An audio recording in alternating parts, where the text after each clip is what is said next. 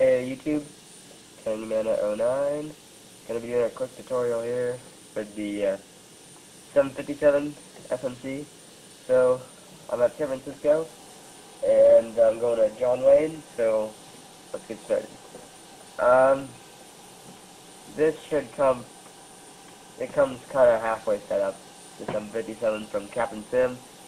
Just make sure you get your overhead panel set up, uh, but I'm going to be mostly focusing on the FMC. So after you have your IRS, I'll do a more realistic in the tutorial. They're going to start out like that on the off position, and your plane should look like this. It should say ATT. Uh, you're going to switch these to align. Switch all three of them to align, and then they're going to show up as a line up the top there. So we're to go into your FMC. Usually I use my FMC in the aircraft virtual cockpit, but for the video sake, I'm to use this one. So go to first, um, go to initialization, ref, INT ref, um, click on position, enter the airport identifier code that you're at. So at San Francisco, so you start with the uh, country's identifier, the whatever, the, so the US is K, most of it, except for Alaska and Hawaii. Start out with the K, and then you enter your airport, or whatever country you're in. You should know that, though. You're to have, after you enter your airport ref into this spot, this will pop up. You'll get your latitude longitude. Click on it right here. It's to fill up in the bottom box. Click it in here that enters your IRS position. So you go back to your overhead panel, and that should allow you to click these over to nav. Whenever these lights go out on the overhead panel, when the uh, aligned lights go out, you can switch it over to nav. So after they're set, you should get your panels looking like this, your map display working, your horizontal, or your artificial horizon working, and your engine instruments should be there already before that. But uh, go next. You go to route. So my takeoff airport, SFO, to San Santa Ana. God wait. I mean uh, KSNA. Excuse me. Just come back from uh, San Diego, so I was thinking San Diego. Um, runway. I'm at San. Er, I'm at San Francisco, so two eight left or runway 1, but my FSX only assigns two eight left for takeoff. So I use that. And flight number, if you know it, uh, I forget what my flight number is. I'll look it up later. It's not really mandatory, it's just something you can add for realism. Next, go back to an uh, INT ref. You're going to have to enter your weight. So you can either use the default FSX weight thing where you go into the aircraft fuel and payload and it'll say gross weight. That's what the GRWT is. And it measures in hundreds of thousands of pounds. So my gross weight is uh, 209,000. And your gross weight is pretty much the total of your uh, 209,800. It's the total of your, oh, you do 209.8.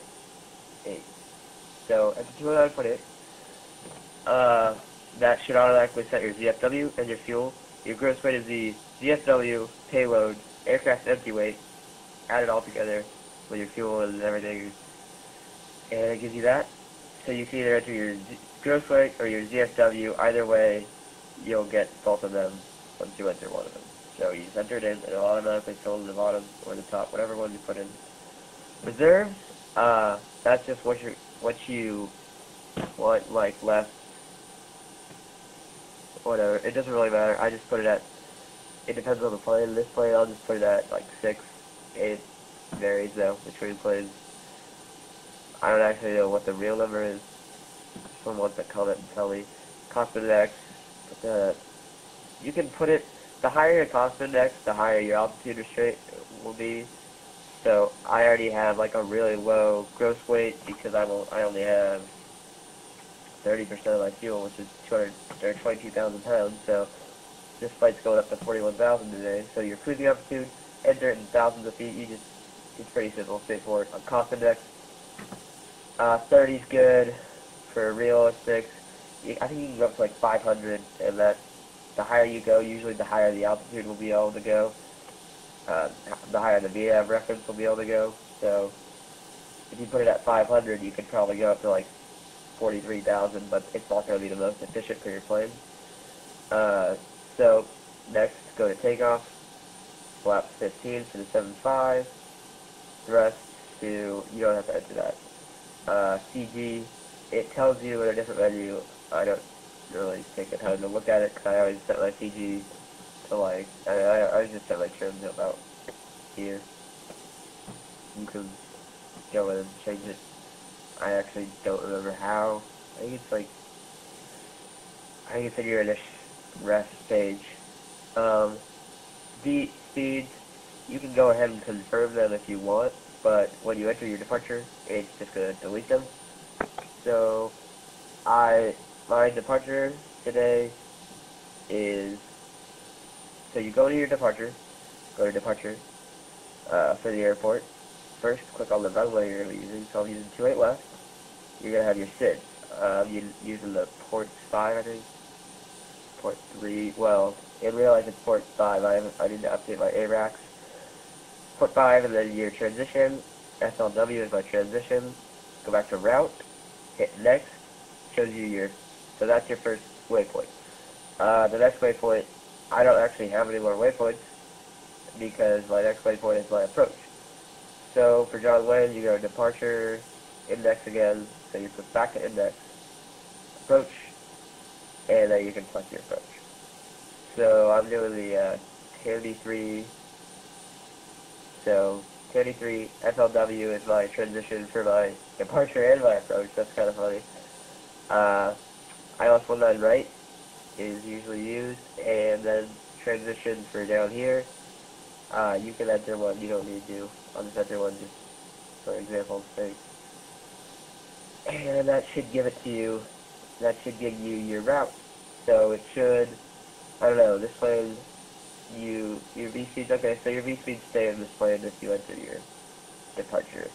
They'll stay the same. So you get, for your departure, you enter all that, you enter your waypoint. If you have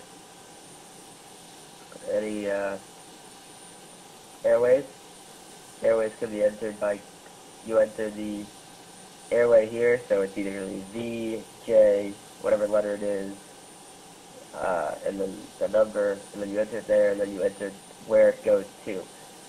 So say I'm on like J40 or something, if that's my airway, you click J40, and you enter it here, and then you'd enter the waypoint that you're going to. So if you were doing like J40 to like FLW, that's not a real waypoint. I'm just using an example. You'd put J40 here, FLW here, then it would enter all the all the waypoints in between. But that's not real. I'm just showing you for example. So you go into your legs. It'll show you all your legs. And if you entered in your you had entered in your perf correctly, your legs should give you your VNAV um, altitude and airspeed for each leg. So it's going to give me that so at SLW, I should be up at my cruising altitude. I'll be cruising all the way until Palm. After Palm I'll start my descent. Or, uh, well, sometimes Captain Sim 75 doesn't give you a top of descent. So hopefully mine gives you a top of descent. But usually you should see your top of descent somewhere in here. In between your cruising altitude and your first waypoint that's lower than your cruising altitude. It'll give you a top of descent.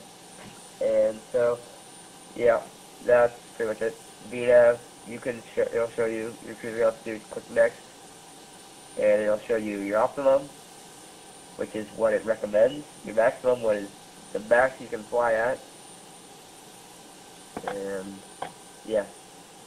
So next you go over to, well that's pretty much it. I mean, uh, there's a couple more things like nav.